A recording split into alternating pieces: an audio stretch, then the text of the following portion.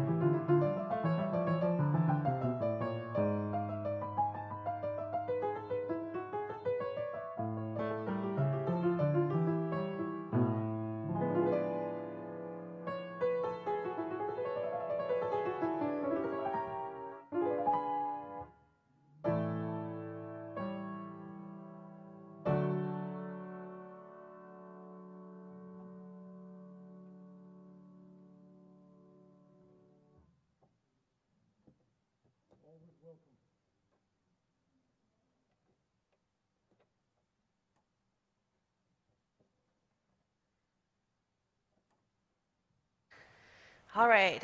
Join me in our first song of praise on 557 in your hymnal, also on the screen. Blessed be the tie that binds.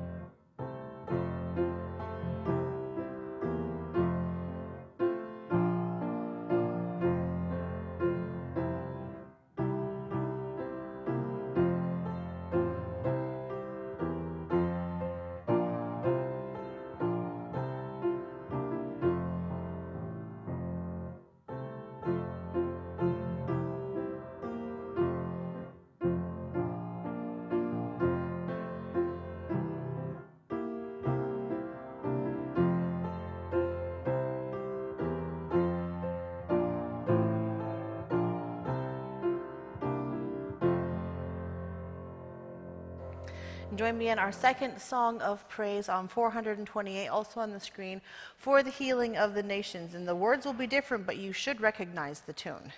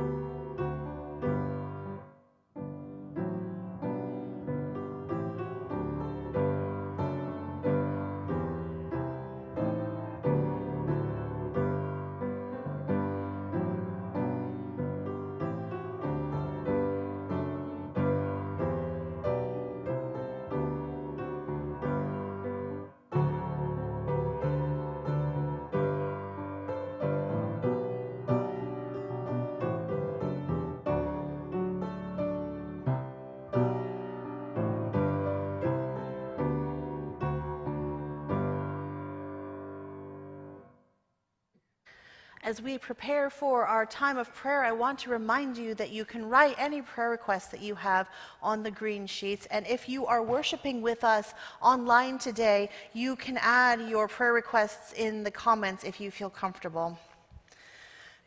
Today, we are lighting our prayer candle in honor of two separate prayer themes. We are honoring Father's Day, and we are honoring Juneteenth.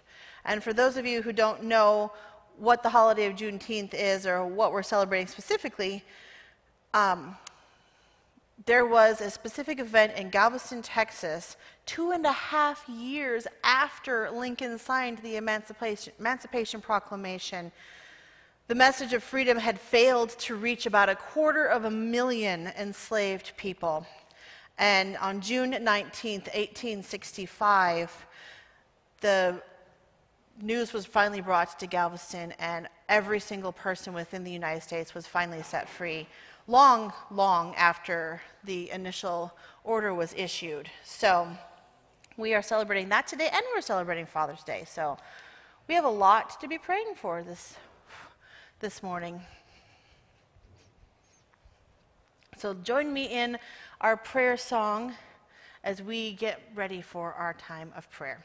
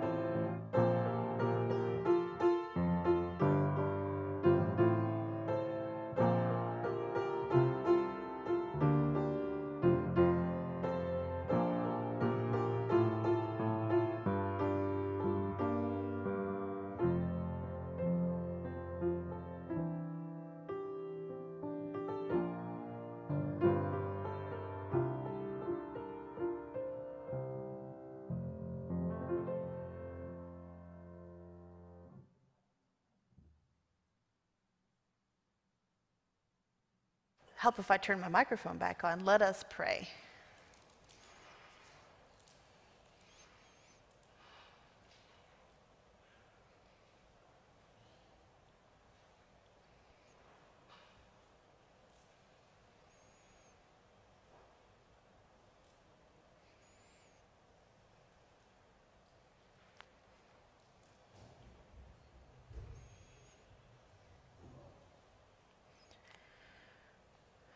We long for you, O God, as a deer longs for the flowing streams. And so many times we are afraid of what the future may bring. We separate ourselves from our siblings in Christ because they are different from us. When we pray, we don't always feel that you hear us. So we ask that you make your presence known with us. Heal the places of our doubt, despair, and alienation. Cure us from hatred and discrimination. Enlarge our hearts that we may recognize each person as a part of your beloved family. Tear down the walls of prejudice and racism that divide us. Grant us the vision to look at the stranger and see your face. Remind us that the things that divide us gender, race, economic and social status, religion, and education are not important in your eyes. Cast out all that keeps us from you and from one another, for we are all one in Christ Jesus. And as we celebrate the holiday of Juneteenth today, grant us grace to contend fearlessly against evil and to make no peace with oppression. Help us resist the evil of slavery and human bondage in any form and any manner of oppression. Help us to use our freedoms to bring justice among people and nations everywhere to the glory of your holy name. And today we also pray for fathers. We know that our relationships with our fathers can be complicated. For some of us, our Father's love is like God's love, enfolding us and wrapping us. For some, our dads are here. Some were never here. For some of us, God's love fills in the empty spaces our fathers left behind. All of us are shaped by the relationship or lack of relationship with our fathers. On this day, when we remember what it means to have a father or to be a father, O oh God, we recognize the importance of fathers in our community. We ask that you love and nurture the fathers among us so that they will manifest your love in all that they do.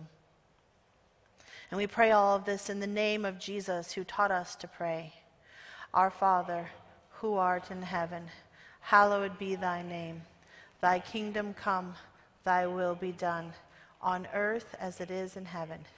Give us this day our daily bread, and forgive us our trespasses, as we forgive those who trespass against us. And lead us not into temptation, but deliver us from evil. For thine is the kingdom, and the power, and the glory forever. Amen.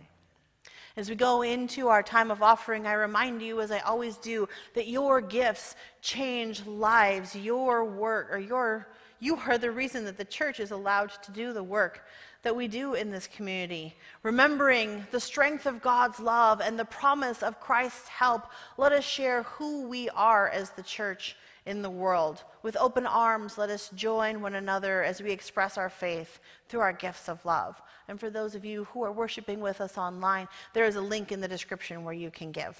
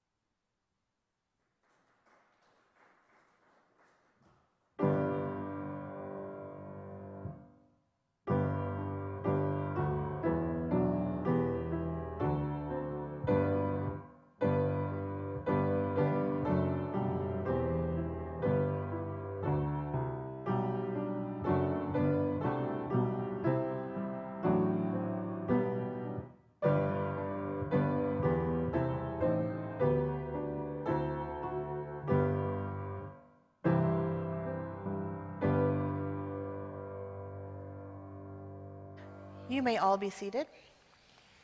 Our psalter for today is Psalm 42. As a deer longs for flowing streams, so my soul longs for you, O God. My soul thirsts for God, for the living God. When shall I come and behold the face of God? My tears have been my food day and night, while people say to me continually, Where is your God? These things I remember as I pour out my soul, how I went with the throng and led them in procession to the house of God, with glad shouts and songs of thanksgiving, a multitude keeping festival. Why are you cast down, O my soul, and why are you disquieted within me? Hope in God, for I shall again praise my help and my God. My soul is cast down within me. Therefore, I remember you from the land of Jordan and Hermon, from Mount Mizar. Deep calls to deep at the thunder of your cataracts. All your waves and your billows have gone over me. By day, O Yahweh, you command your steadfast love, and at night your song is with me, a prayer to the God of my life. I say to God, My rock, why have you forgotten me? Why must I walk about mournfully because the enemy oppresses me? As with a deadly wound in my body, my adversaries taunt me, while they say to me continually, Where is your God? Why are you cast down, O my soul, and why are you disquieted within me? Hope in God, for I shall again praise my help and my God. The word of life.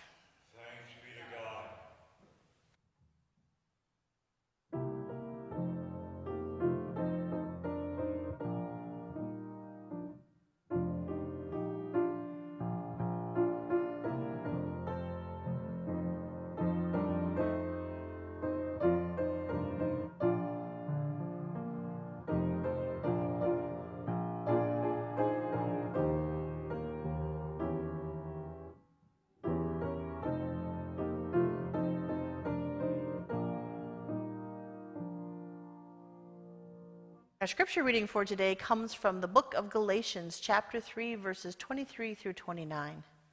Now, before faith came, we were imprisoned and guarded under the law until faith would be revealed.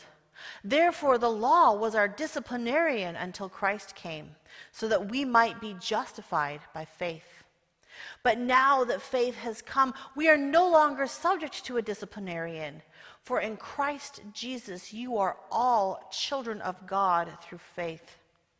As many of you were baptized into Christ, have clothed yourself with Christ. There is no Jew or Greek. There is no slave or free. There is no longer male and female. For all of you are one in Christ Jesus. And if you belong to Christ, then you are Abraham's offspring heirs according to the promise. The word of God for the people of God.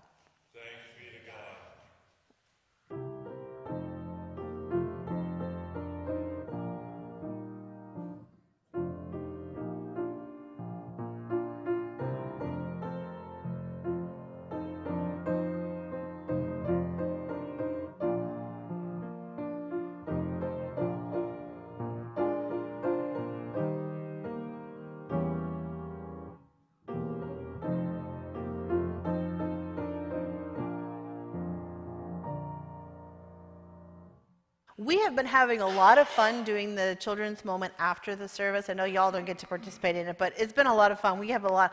We can do a little bit more wiggling. We can do a little bit more, a little bit more goofing around. And so I have a magic trick that we're going to be sharing after the service today for the children's message. So this week we are continuing our journey through some of Paul's letters to the early church. We've spent some uh, one week with the Rome, letter to the Romans. We're moving away from the Roman church over to the Galatian church, and they have their own problems.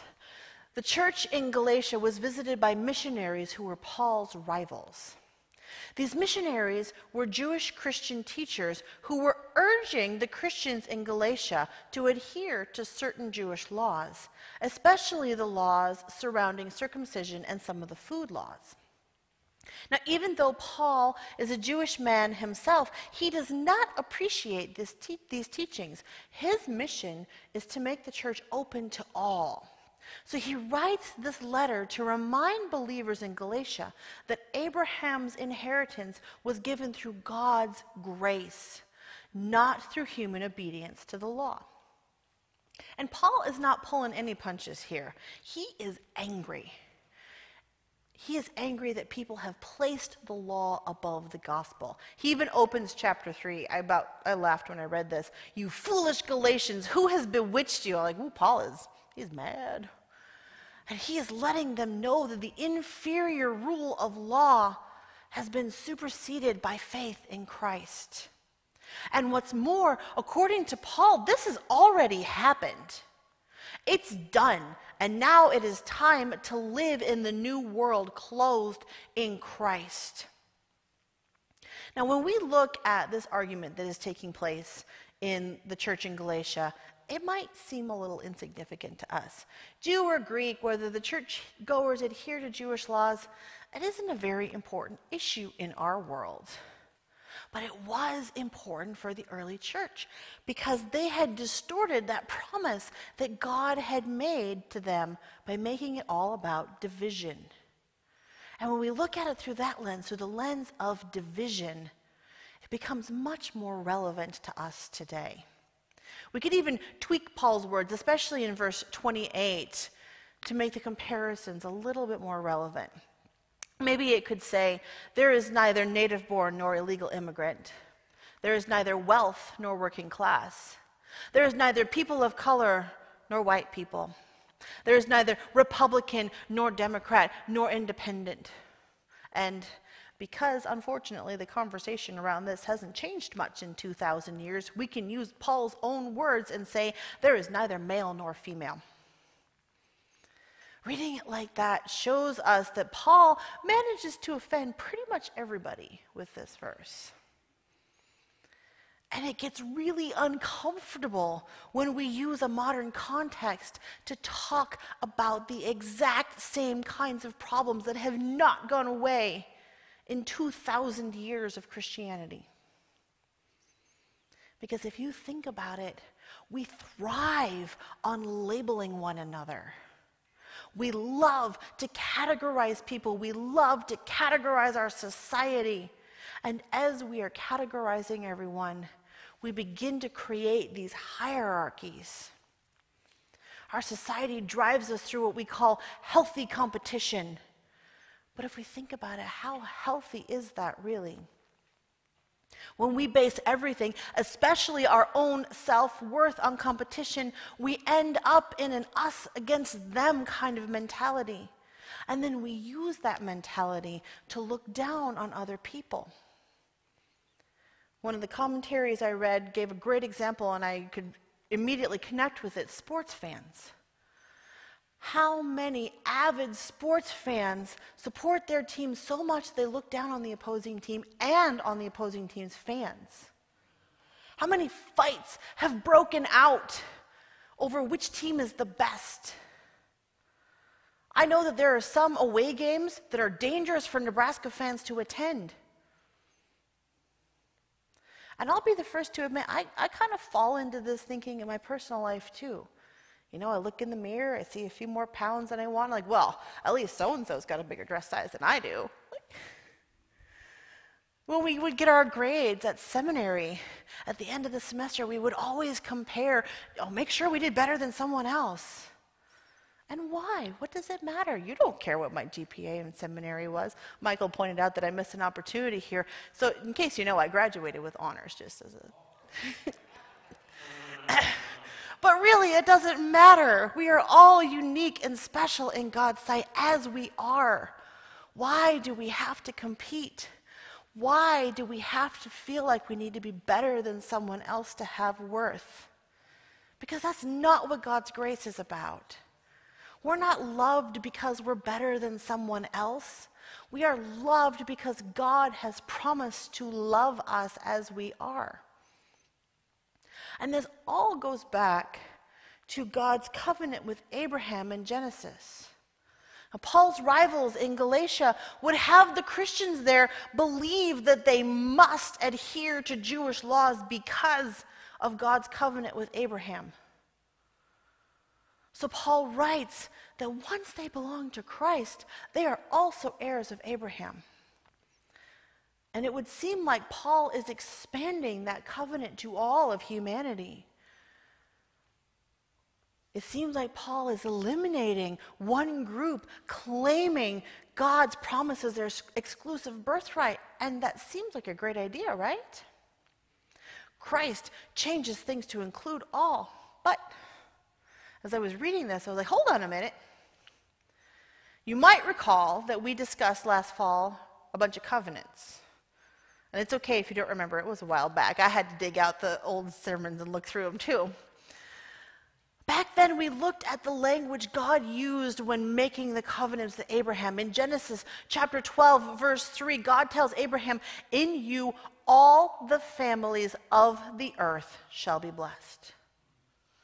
God makes it very clear that the promise and the covenant were not restricted to Abraham's direct heirs only, They are supposed to be agents to bring God's blessing to all. But of course, because the ancient people were humans just like us, humans who are prone to imperfection, humans who are prone to mistakes, they messed it up.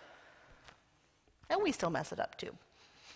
They twisted God's promise to Abraham to believe that only the heirs of Abraham received that promise. So by the time the Christian church comes along, there was this fight about who has supremacy in the hierarchy of God's world. So, in order to push back against this behavior, Paul himself reminds the Galatians in verse 19 of chapter 3. We didn't read it, but it's just a few verses before our scripture starts. The law became as big as it was because of human transgressions. And it all got so bogged down in legal technicalities that it was nearly impossible to actually follow the law. I mean, there are 613 Levitical laws. And as the law expanded, it exposed the selfishness and the self righteousness of the people. It uncovered their rebellion against God's will, the will that the people would bring God's covenant to all the earth, not just a select few. But of course, there's a problem with the law. For all it does to keep people following a strict path, it does nothing to make them holy. You cannot legislate goodness. That kind of change has to come from within, and it can only come when we accept God's grace. And for Christians, all Christians, Gentile and Jew, it comes through Christ. Christ is what matters. Christ is the beginning and the end. Nothing can keep us from the love and grace of Jesus Christ, not even death. And that faith supersedes the law. Now, unfortunately, we still struggle with this today. We still grapple with what it means to be a Christian and how to live a Christ like life. One commentary had my favorite quote for the whole week. It was an incredibly powerful point about how we practice or fail to practice Christianity. The quote says, I'm going to try and do this exact. The Christian ideal has not been tried and found wanting. It has been found difficult and left untried. I was like, ooh, ouch, that's harsh but true. It's hard to really, truly follow Christ. And it gets even murkier when we listen to people who claim to be Christians say some fairly horrible things about other people in order to justify treating others with violence. We are still in this society trying to push people down based on the color of their skin, their gender, their country of origin. Let's go back and look at verse 28 again. We see these dichotomies, and Paul is telling us that these categories don't matter anymore. But also notice that even after everyone is clothed in Christ, they still maintain their identities. The women are still women, the Greeks are still Greek, the slaves, unfortunately, are still slaves. They didn't transform all of a sudden out of this unique image of God into something completely different. And that's not Paul's point. Paul's point is that through Christ, our human barriers are torn down. Our divisions, our systems of ranking are upended and destroyed. Christ's coming is the end of bias and bigotry and hatred and segregation. You think we're there yet? It's true, we have certainly failed to live up to this ideal. But the more we emulate this, the closer we get to God's realm on earth. I think it's incredibly appropriate that this lectionary scripture falls on the holiday of Juneteenth, the day that we celebrate finally the freedom of slaves throughout the entire country of the United States which, as I said, two and a half years after the Emancipation Proclamation is passed. But humanity did not want to give up power and fall into patterns of equality easily. Last week, I took the boys to a baseball game, so of course we had to watch A League of Their Own. It's one of my favorite baseball movies. And of course, the overtones of women's rights are very clear in the movie, but there was also a scene that showed how equality for women did not mean all women. As the women baseball players were practicing, the ball flew out of the field area, and a black woman stepped up and picked it up. The woman who was playing catcher was just a few feet away from her, and she said, You know, come throw it to me, throw it to me. And the black woman decided instead to throw the ball across the entire field over to the outfielder on the opposite end of the field. She had thrown the ball so hard that the outfielder had to take her hand out of her glove and shake it because of the amount of pressure that the ball made hitting that glove. She was clearly a skilled ball player, but she was not invited to play on that field because of the color of her skin. It took another 20 years to finally pass civil rights, at least on paper. 100 years after the abolition of slavery, they finally ratified the Civil Rights Act and the Voting Rights Act. And I'm sure that we can agree that we are still fighting for that equality today along racial lines, or along gender lines, along political lines, income lines, on and on and on. We could stand here all day listing everywhere we fight for supremacy. But the good news is that there is hope. There is always hope. God is an endless source of grace and hope for us. As Christians, it is our task to take up this work and make a difference in this world. And I know that that's not easy. There will be days, there will be many days when we just want to throw in the towel. I'll be honest, I struggled with that this past week.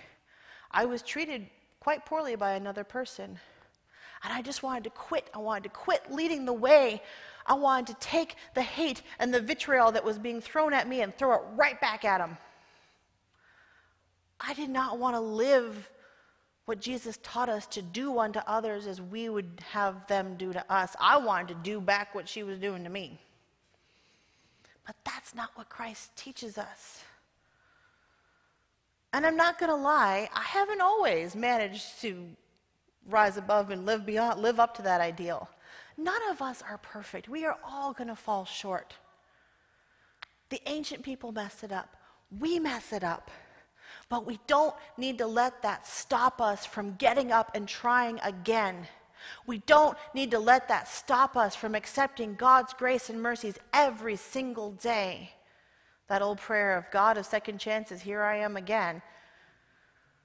Faith is like taking a shower. You can't do it once and be done. We need to keep coming back to God every single day, day after day. We need to keep renewing our commitment to God through prayer, through study, through worship. We need to grow in our faith, grow closer to God.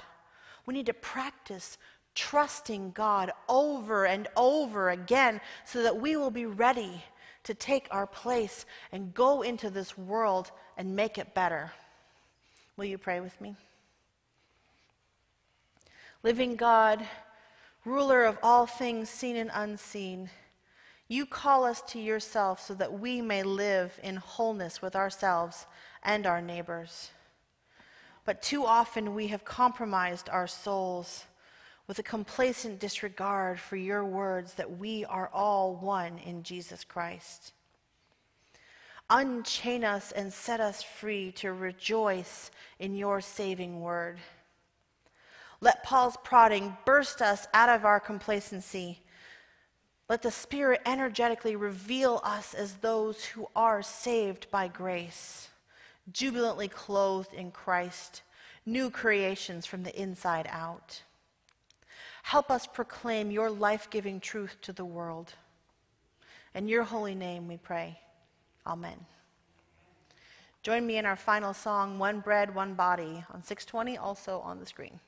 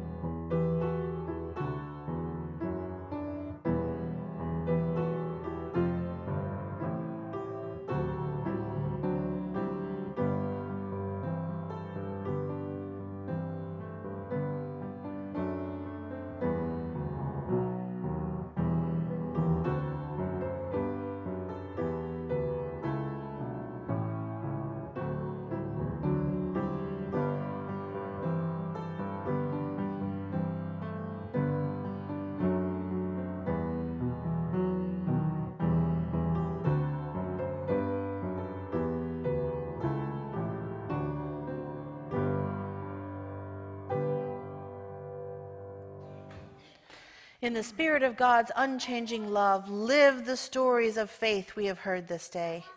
In the melody of God's song within us, sing the faith we have received this day.